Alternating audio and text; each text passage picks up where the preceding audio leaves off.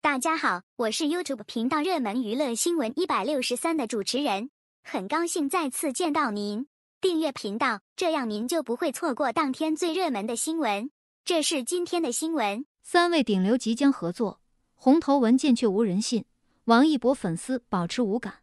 娱乐圈最近有个瓜，特别的搞笑又有趣，就是传闻三位顶流艺人将要合作单元电影，还有红头文件，是电影总局的文件。此消息一出，各家粉丝吓得一激灵，赶紧抱走自家哥哥。你相信吗？总之，我们是不敢信了。毕竟这种的事情，一般情况下是不可能透露过多消息的，更别说还是三位顶级流量艺人，个个的粉圈实力雄厚，资源更是好到不行。如今各自的发展方向都很明确，大体上的内容就是电影总局的一部电影延期了，其中的主演是当下的三位顶级流量演员。易烊千玺、王一博、李现，如今正在忙着跟他们沟通拍摄的档期。看到这个讯息后，第一个反应是，这个貌似是红头文件吧？这个真实性有待考究。单纯从三个人的咖位上，这个消息就足够吸引人的眼球。三位可都是大流量啊，人气可是超高的。同时呢，四字弟弟今年的风波可是导致人气下滑严重。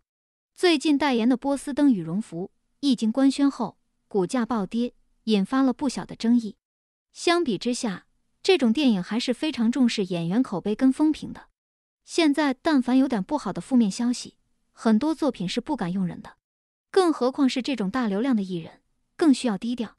评论区可谓是热闹非凡，特别是王一博的粉丝看到后，立刻吓出一身冷汗。可不要给我们家宝子画饼了，现在他只需要低调、低调再低调，再加上。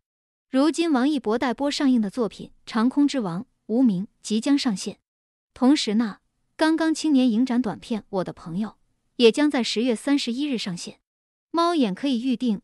粉丝看到这种的讯息，都纷纷出来拉走自己哥哥，表示非官方不约。这种措辞呢，没必要说，毕竟都知道在画饼。不过拉这三位出来，真的有点不嫌事大的节奏。所以呢，到底具体如何？还是各种安好，不要被带偏节奏为好。毕竟小妖关注点在王一博这里，希望喜欢王一博的人，还是看到后不要过多评论了，保持无感就好。因为现在的王一博待播剧马上就要进入宣传期了，总有一部会跟大家见面。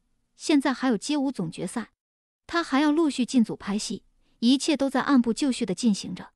话说回来，王一博最近好事频出，新的代言纷纷官宣。